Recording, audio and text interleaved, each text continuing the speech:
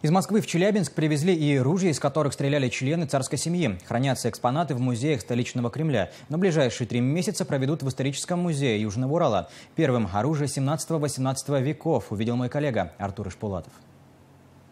На выставке из собрания музеев Московского Кремля челябинцы увидят экспонаты, которые отражают разные виды царской императорской охоты в 17-18 веках. Это и э, рогатина, короткая охотничий копье, с которым царь Михаил Федорович ходил на медвежью потеху, и саадак, комплект из лука и стрел. Их царь Александр Михайлович брал на соколиную охоту.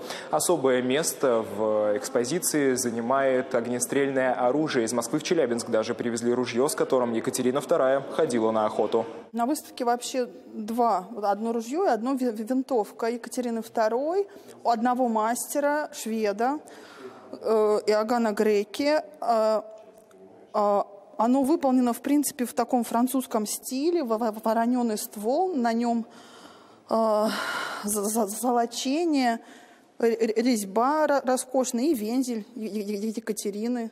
Всего на выставке больше 120 экспонатов, их пока монтируют. Вообще музеи Московского Кремля приезжают в Южноуральскую столицу во второй раз.